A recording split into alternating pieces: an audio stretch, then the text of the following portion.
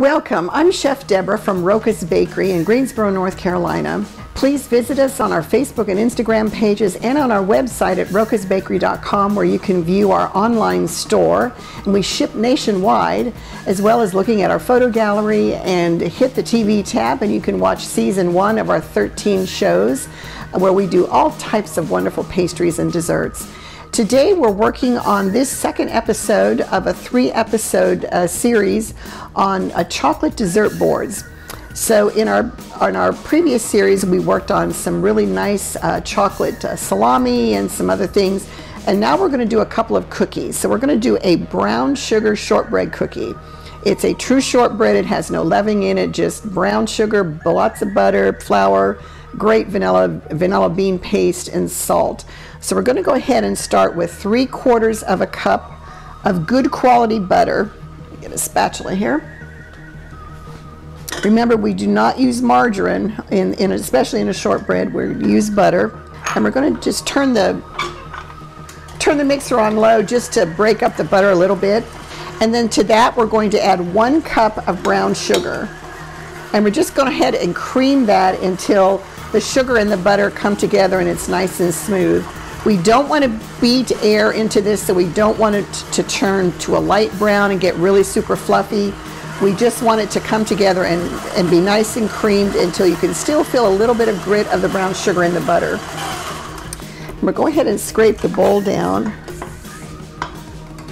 and scrape the beater down to Make sure we get all the ingredients incorporated. And I decided to make this brown sugar shortbread for the chocolate dessert board to add a different variety and flavor palette uh, to the dessert board because these are traditionally served uh, dipped in chocolate ganache and then sprinkled with toasted pecans. But on our dessert board, we're going to have chocolate sauce so the guests can dip their own if they want to. So that's creamed well enough. So we're going to go ahead and add, I have one teaspoon of vanilla extract and a teaspoon of vanilla bean paste in here to give that real nice rich vanilla bean flavor. And again, we'll stop and scrape the bowl down.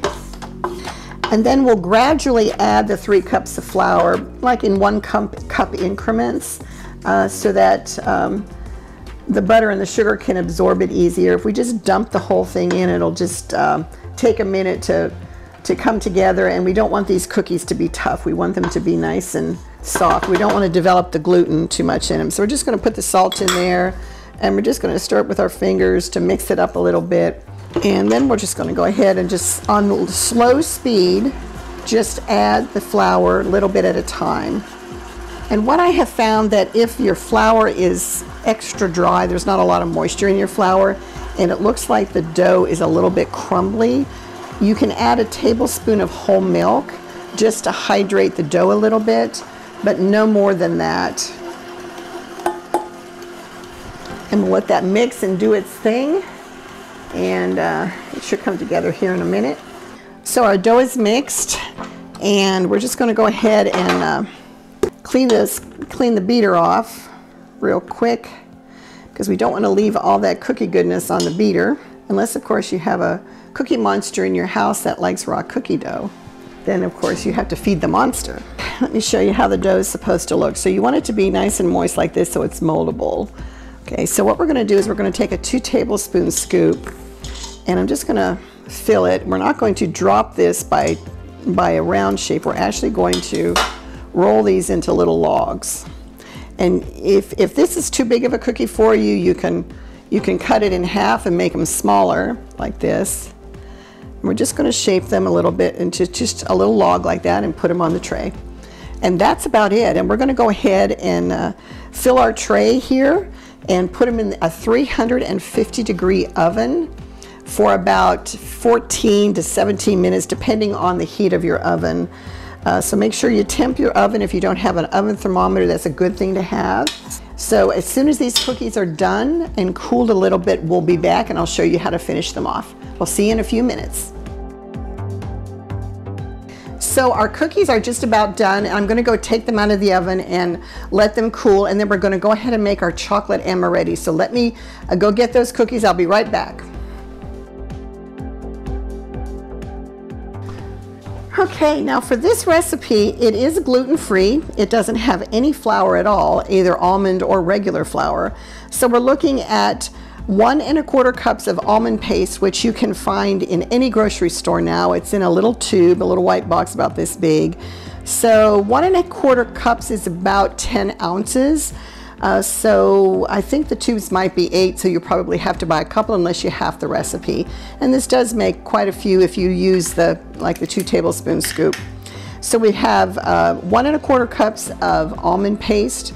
We have uh, one cup of granulated sugar, uh, a quarter cup of egg whites, room temperature, and then we have a half a cup of powdered sugar and a quarter cup of cocoa. So what we're going to do is we're going to be putting this almond paste into the uh, machine and we're going to break it up just a little bit and it's going to kind of slap and make all kinds of noise in the machine so I'm not going to talk while that's going on. And once it's broken up a little bit we're going to go ahead and, and put in the the sugar and we're just going to go ahead and let that process until the sugar is incorporated into the almond paste.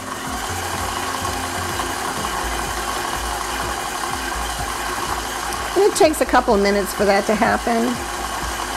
And it should look like fine, like sand uh, by the time it's done. You can also do this in a food processor if you have a small food processor and it'll take just, you know, 15 or 30 seconds of pulsing, but you still have to add the other ingredients. That's why I just do it in the mixer. So let's go ahead, it's, it's good to go now. So we're gonna go ahead and add our egg whites to the mix.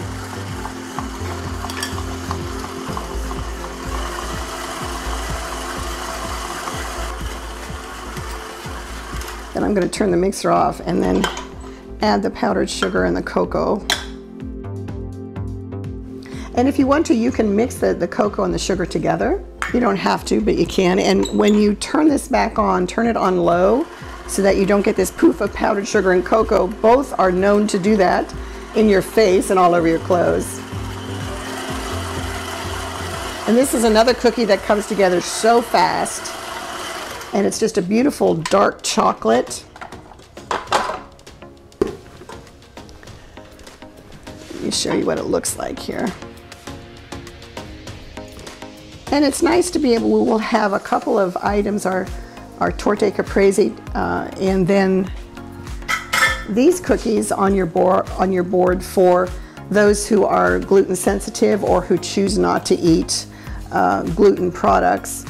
So this is what the cookie dough should look like. It's going to be a little grainy, as you can see, and if you touch it, it'll feel a little bit grainy.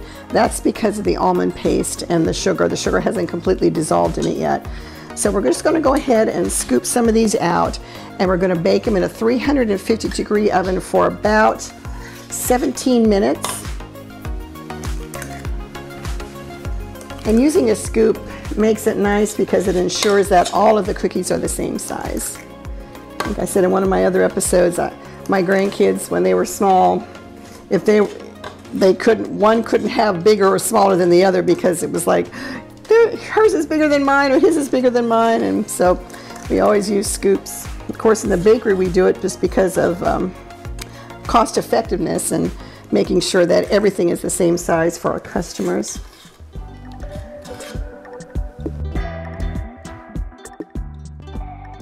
So we'll go ahead and put these in the oven, 350 degrees for about 17 minutes. And this is Chef Debra from Roca's Bakery in Greensboro, North Carolina, signing off on this episode. And we look forward to seeing you in our next one. Bon appetit.